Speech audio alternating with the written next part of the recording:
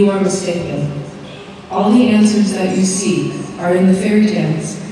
Go within, in the world of your imagination, and you will undoubtedly find that you are definitely not alone.